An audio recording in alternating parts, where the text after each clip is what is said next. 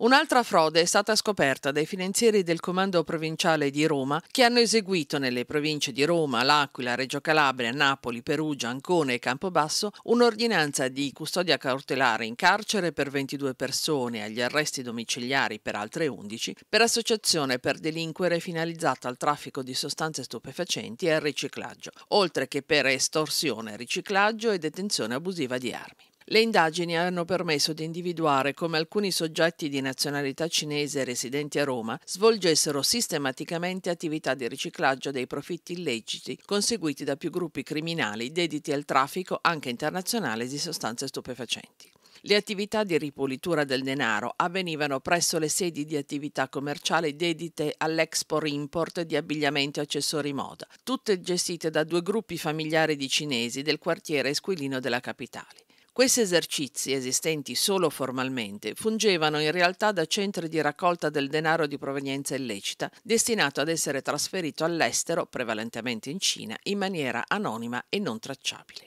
Tale illegale intermediazione finanziaria basata sulla puntualità, discrezionalità e sicurezza si fondava sul cosiddetto metodo Fei Chen, che consiste nel virtuale trasferimento di denaro all'estero. Il capo dell'organizzazione, un cinese di 55 anni, offriva anche un supporto logistico ai corrieri di valuta, per conto dei quali pianificava e organizzava dettagliatamente i viaggi aerei con cui trasportare il denaro contante all'estero, allo scopo precipuo di eludere i controlli alle frontiere. Qui il denaro veniva ripulito e restituito ai clienti iniziali, ivi inclusi narcotrafficanti ed emissari vicini alle famiglie di Ndrangheta. Nel complesso sono state tracciate movimentazioni finanziarie per oltre 50 milioni di euro, dirette dal territorio nazionale verso la Repubblica Popolare Cinese, e sono stati sequestrati oltre 110 kg di droghe tra hashish, marijuana e cocaina, e ricostruiti traffici illeciti per oltre 545 kg di sostanze stupefacenti, in un giro di affari tra Spagna e Italia per un valore di circa 20 milioni di euro.